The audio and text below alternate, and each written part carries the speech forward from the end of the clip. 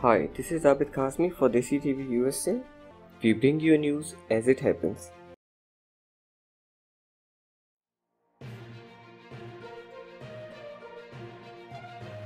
Jennifer Aniston says she's basically cutting unvaccinated people out of her life.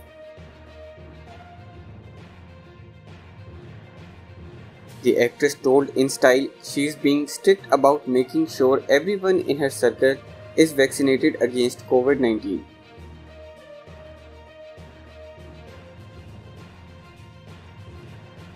She admits that policy has resulted in losing a few people in her weekly routine who either did not get vaccinated or wouldn't say whether they had.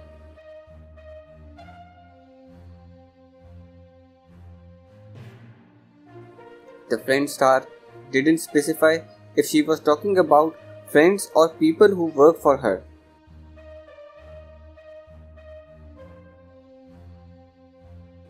Aniston says she watches a lot of news in real life, and there are many people who quote, just don't listen to the facts.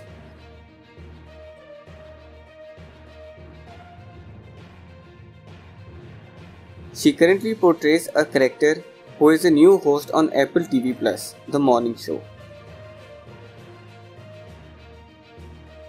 Thank you for watching. For more news and updates, please click on our link tree.